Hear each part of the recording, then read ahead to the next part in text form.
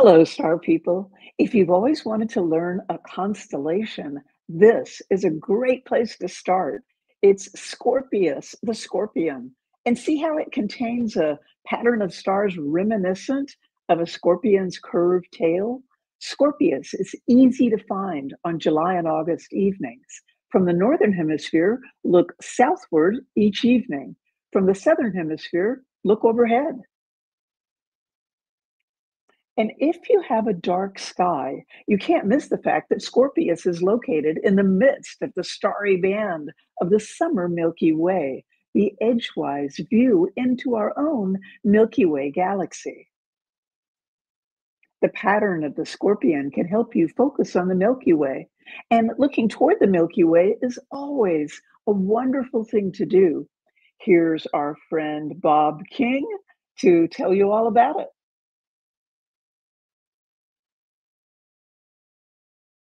Without an exception, I think people that have been out under a dark sky where the Milky Way really starts climbing above you late at night, you stand underneath that thing and you know it's enormous. It's an entire galaxy that has every single star in the sky belongs to the Milky Way. And all the you know, extrasolar planets and nebulas and star clusters, it looks to your eye and in your heart as big as it truly is. And it will really dwarf you to stand underneath it. It's one of the best experiences, one of the best cosmic connection type experiences you can have. It just whoosh, instantly refreshes your perspective about your place in the universe. It's our galaxy, it's our home in space, and it refreshes your perspective to see it. So, what about if you can't go to a dark place and see the Milky Way? Even so, the constellation Scorpius itself has many cool and easy to see features. And I'm going to show you three features in Scorpius that you can pick out from a not so dark sky. So, first, you'll want to look for the bright red star called Antares. It's the brightest star in Scorpius, considered the heart of the scorpion. It's about 550 light years away, and it's very easy to spot within the scorpion pattern. And Antares has its own fascinating story. It's a red supergiant star. Approximately 700 of our suns could fit side by side in front of it. If Antares were placed in the center of our solar system, its outer surface would extend out to somewhere around the asteroid belt between the sun's fourth planet, Mars, and its fifth planet, Jupiter. And like all supergiant stars, Antares won't live long, astronomically speaking. It'll run out of fuel and collapse, causing a supernova explosion. It'll leave behind a tiny, compact neutron star or possibly a black hole. But there's more. In a dark sky, with your eye alone, you can see M4 right next to Antares. It's a distant and ancient cluster of stars. Oops. Let's see here. Let's try this one. There we go. okay, see that? That is the red star Antares. And if you look closer with binoculars, you can see this cluster. It's one of more than 150 globular star clusters in our Milky Way galaxy. M4 is the closest globular cluster at only 550 light years away. Oh, our platform is acting up here, but we got it. There we go. Use your binoculars and you can see this cluster as a small, faint, diffuse ball of light. Uh, but in a moderate sized telescope, you can see it as a tight, symmetrical collection of stars. To me, it always looks like a dandelion about to lose its seeds. Uh, and it contains some of our galaxy's oldest stars. But that's a story for another time. And meanwhile, one last thing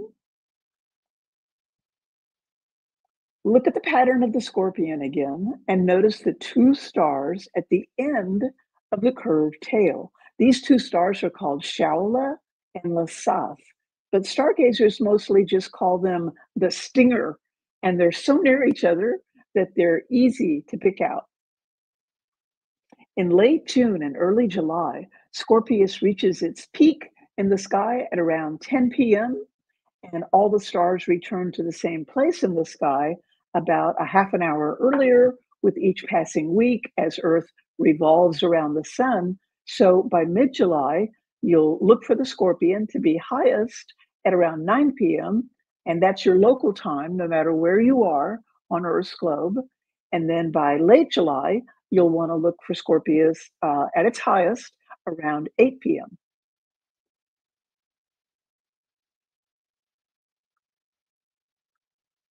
And just a word about Greek mythology. The scorpion is famously linked to another easy to see constellation, Orion the Hunter. It's said that Orion grew arrogant. He claimed he could kill any creature. And to teach him a lesson, the Greek gods sent Scorpius to sting and kill him. And so today, the scorpion and the hunter never appear in the sky at the same time. It's only when the scorpion has set for the night that Orion will rise. So we see Orion before dawn each year, beginning around early August. Sorry about this, you guys. There we go. Cheryl's going Milky Way hunting next week. Awesome. Um, okay, so another one more legend about Scorpius in Hawaii, Scorpius was known as a powerful, uh, magical artifact known as Maui's fishhook. And it was featured in the Moana movies. And here's my review. My granddaughter and I saw both Moana 1 and 2, and we loved them. And you might not know that the sun spends less time in front of Scorpius than any other constellation of the zodiac. It shines in front of Scorpius for only a week uh, every year from November 22nd to 29th. And remember, we're talking about the constellation here, not the astrological sign of Scorpio. So here's what we know in astronomy land. we know that the constellation Scorpius connects us to the Milky Way galaxy some of its stars, and it also connects us to stories about our ancestors. So look for the stars of Scorpius, the scorpion, and let them weave their stories for you. We're here live every weekday at the same time. And did you hear there's an enormous comet heading toward our sun? I'll be back on Monday to talk about it with an astronomer.